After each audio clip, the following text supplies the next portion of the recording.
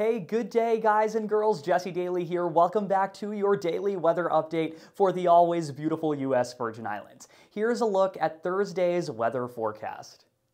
All right, my friends, the National Weather Service in San Juan, Puerto Rico has noted that an unstable weather pattern is possible once again on Thursday, and we could see some additional rainfall. At this point, any additional rain could lead to flash flooding because the ground is already very saturated.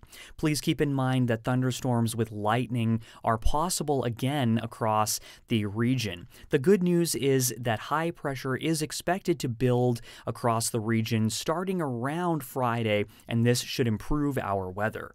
Overall, on Thursday, the USVI can expect to see a mostly sunny sky with scattered showers and thunderstorms. There will be a daytime high temperature of around 87 degrees Fahrenheit, 29.4 degrees Celsius, warmer in some locations, and a nighttime low temperature of around 77 degrees Fahrenheit, 25 degrees Celsius.